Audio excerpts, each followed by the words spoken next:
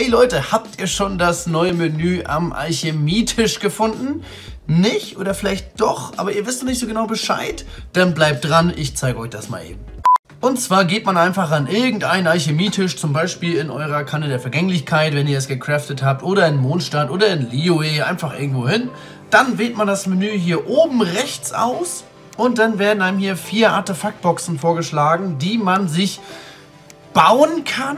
Also man kriegt jeweils ein Artefakt aus so einer Box, indem man drei andere 5-Star-Artefakte sponsert. Wir wollen uns das jetzt einmal anschauen. Ich habe 39 Stück schon mal vorbereitet und hier reingeschmissen, die ich nicht mehr brauche. Das ist tatsächlich äh, ein bisschen interessant, wenn man das macht. Da merkt man erstmal, was man noch so auf Lager hat. Daraus kriege ich 13 Requi Reliquiare. Also das ist ein Drittel von der Menge der Artefakte, die wir reinstecken. Genau, wir wollen altes Hofritual, das andere wären halt, äh, das beides wären Sets, die man von Bossgegnern kriegt und das ist, glaube ich, das Set, was man alternativ zum alten Hofritual in dem Artefaktschrein bekommen kann. So, wir opfern die Artefakte jetzt einmal und schauen, was wir bekommen. Kostet allerdings, äh, kostet by the way kein Mora, zumindest wird das hier nicht angezeigt, ziemlich entspannt, feiere ich. Und jetzt kommt der spannende Moment. Uh, drei Kelche, drei Federn, zwei Blumen, vier, fünf Sanduhren. Okay, wir schauen uns ganz kurz die Dinge an. Kryo-Schadensbonus LP, nicht so spannend. Dann haben wir hier Elektro-Schadensbonus LP, Crit-Schadenangriff. What the fuck? Nice. Und dann auch noch hier mit Spezialfähigkeiten erhöhten Schaden. Super Set, super geiles Ding. Perfekt. Dann haben wir hier Angriff, LP, Aufladerate. Ich nehme mal ein, ich save das mal, ist nicht so krass, aber save mal nicht so gut.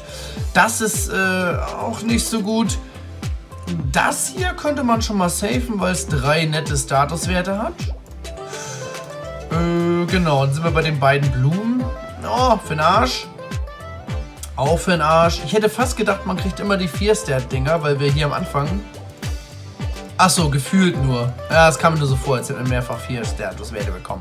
Tatsächlich kriegt man einfach random Artefakte, wie es aussieht. Aber ja, wie Sie sehen, sind da teilweise ganz gute Dinger dabei. Das wären jetzt theoretisch 1, 2, 3, 4, 5, 6 Artefakt-Runs mit angereichertem Harz. Also wir haben quasi jetzt investiert 6 mal 40, 240 äh, Harz. Das ist schon nicht schlecht, der Preis, den wir da. Wir kriegen da schon eine gute Menge. Äh, die Chance, bessere Artefakte zu kriegen, ist schon da. Ja, aber wie gesagt, äh, leider auch hier nicht so viel Glück. Crit-Schaden, Crit-Treffer mit LP kombiniert. Könnte man vielleicht nochmal einem Bennett geben. Ich weiß es noch nicht. Keine Ahnung, LP. Ja, kann man auch mal nehmen. Ja, das ist tatsächlich alles, was man dazu sagen kann. Also, ich empfehle diese Funktion ganz klar euch allen. Ihr sicher habt schon, schon die meisten ganz viele 5-Star-Artefakte angesammelt, angehäuft. Die könnt ihr jetzt hier investieren und bekommt dann die Chance auf ein neues, besseres Artefakt. Also von daher probiert es aus. Es kostet kein Mora, man investiert eigentlich im Endeffekt gar nichts. Man wirft Scheiße rein und kriegt mit Glück ein bisschen Gold raus. Also warum nicht ausprobieren? Ja, das wäre es schon. Ich hoffe, es hat euch gefallen. Ich hoffe, es bringt euch was. Lasst gerne ein Like da oder auch ein Follow, wenn ihr mehr über Genshin Impact oder andere Spiele wissen wollt. Äh, also haut rein, bis zum nächsten Mal. Ciao!